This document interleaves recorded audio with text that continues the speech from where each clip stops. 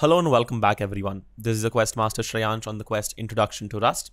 In this specific subquest, we'll be discussing about loops within Rust. So let's start with the loop construct. We'll say that we have a number which we'll multiply till the time the value of that number, in this case x, is less than 5000. Let's start by declaring a mutable variable x which will contain our values. We'll start the loop and anything between these curly braces will be run forever. In this case, we'll multiply the value of x by 2.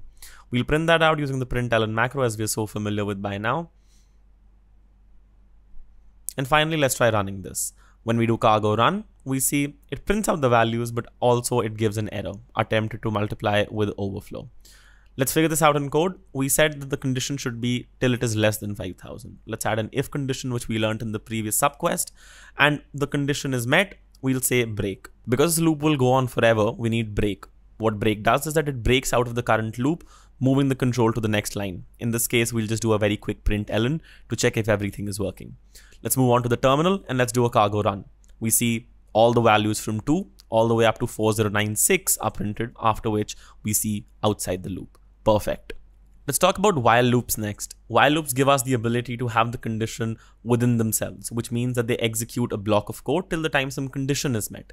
In our case, this is the perfect use case because we have a condition which is x is less than 5000.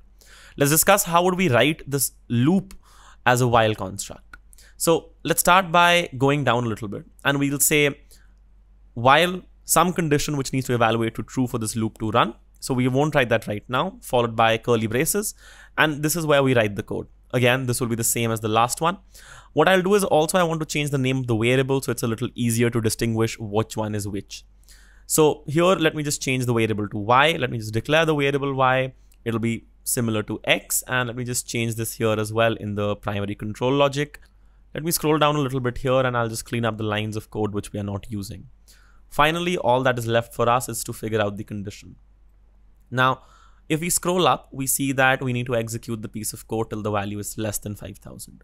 We broke out of the previous loop when it was more than 5000, but in this case, we need to do it before. So in this case, we'll say when y is less than 5000. Let's move on to the terminal and let's see what happens. So cargo run, and we see that the value has been printed from 2 all the way up to 8192. Something we don't want. Let's try figuring that out.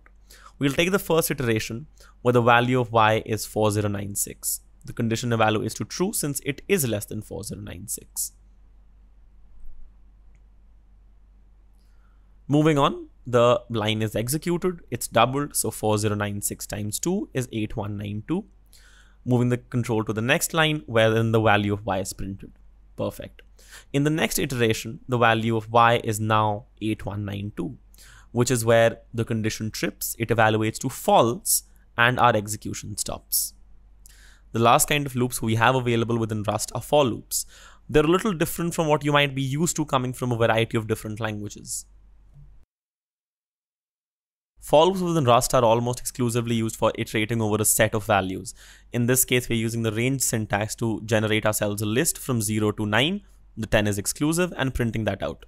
Let's go and run this in the terminal we see that all the values from 0 to 9 are printed. So just as a reminder, this is the exclusive range syntax, which means every value from one less than the right hand side, so the right is exclusive, is included in the range. Now, the question becomes what if you had to make something a little more explicit, something which is a little more easier to understand the moment you set your eyes to it? There is a way to do that, and we'll look at that next.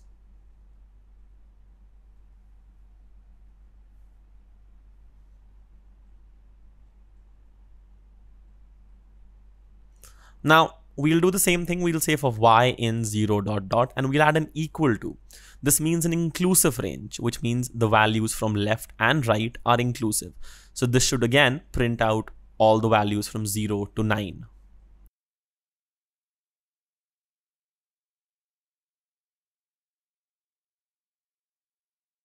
Let's try running this in the terminal with cargo run. We see all the values for x were printed from 0 to 9 in the exclusive syntax and for y from 0 to 9 in the inclusive syntax. Great.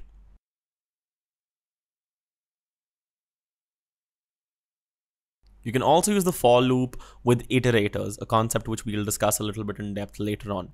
For now, suffice it to say, you can essentially run over all the elements within an array.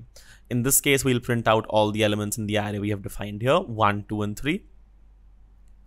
In the terminal, we do cargo run, and we see it prints out the value is 1, 2, and 3.